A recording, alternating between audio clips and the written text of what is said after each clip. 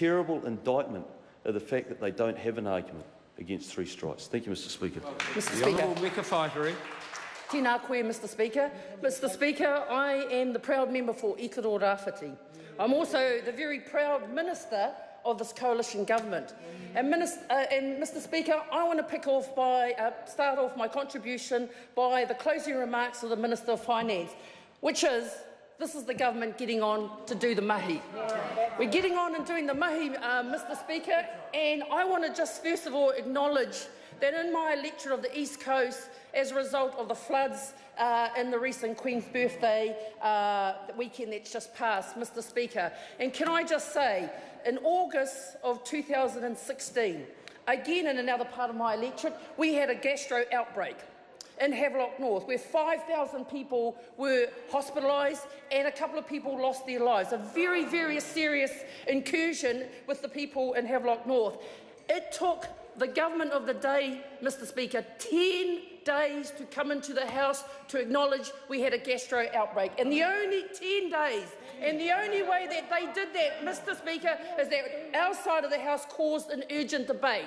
We called an urgent debate, and then the minister was forced to get up on his feet and explain the gastro outbreak. But on the East Coast, Mr Speaker, the East Coast that I represent and I'm proud of, within two days of the flood, Mr Speaker, not only myself, but officials from MPI and GDC, Gisborne District Council, were in the air, Mr Speaker. Two days in the, day, in the air to make sure that we were scanning the outbreak of the floods. And I can say, Mr Speaker, that the, uh, although the flooding was quite localised in Tolaga Bay, the devastation that people saw on your televisions, on social media, was devastating for communities and those families that lost their homes and farmers that are still recovering from those floods. So, Mr Speaker, I want to make sure that this House uh, acknowledges the response in which this side of the House responded to those floods. And I do want to acknowledge both my colleagues, Minister for Civil uh, Defence Emergency, the Minister Chris Faafoi, for his attendance up in Tolaga Bay over the weekend, where he got to meet firsthand and hear from those that are actively on the ground, Mr Speaker, because this government is about action. This government is empathetic to the causes that small communities like Tolaga Bay and Whangara experience as a result of not just one flood, Mr Speaker, but two floods.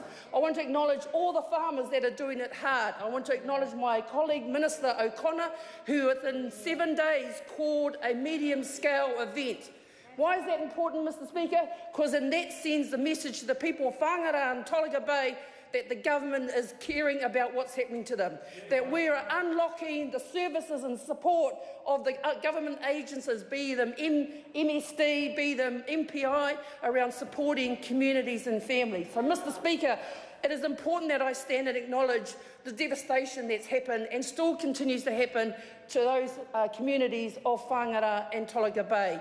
But, Mr Speaker, the other issue is around this government being empathetic not only of communities like the two I've mentioned, but actually of all whānau and families within New Zealand. Because within our first 100 days, Mr Speaker, we put families first. We put families first with our families package, Mr Speaker, which would see incomes boosted for 384,000 whānau. Oh, So we talk about not doing anything of action. That's what we've done.